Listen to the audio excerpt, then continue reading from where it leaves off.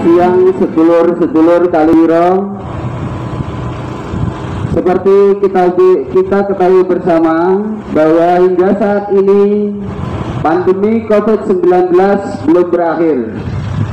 Dan dengan meningkatnya kasus positif COVID-19 di wilayah Wonosobo khususnya, pemerintah melakukan pemberlakuan pembatasan kegiatan masyarakat atau PPKM darurat.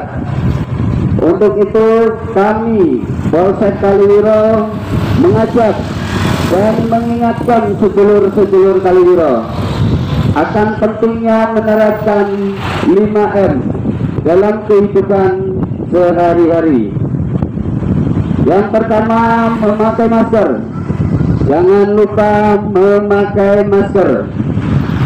Yang kedua mencuci tangan, memakai sabun dan air mengalir. Menjaga jarak, menjauhi kerumunan, membatasi mobilitas dan interaksi di luar rumah. Keluar rumah hanya untuk yang penting. Tetap semangat, jaga kesehatan. Semoga pandemi ini segera berakhir. Assalamualaikum warahmatullahi wabarakatuh.